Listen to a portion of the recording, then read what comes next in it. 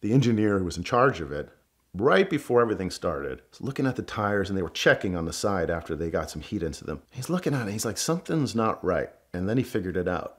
They had used the molds for the Indianapolis tires to make these tires. So they weren't the right tires. They brought over a couple thousand of the wrong tires for this amazing Ford effort. And sure enough, the GT40s are out there. The first Mark II comes in for a fuel stop, and the Goodyear engineer looking at the back, and he sees a bald tire on the back of this thing. And he's all like, You gotta change the tires. You gotta change the tires. And Shelby's like, No, don't change the tires. Like, no, you gotta change the tires. They start changing the tires. He goes back and he just sits in the trailer. He's like, What am I gonna do? I've got thousands of the wrong tire. My days are over at Goodyear. Remington, who was kind of helping run the, the, the program, comes over to him and he's like, It's okay.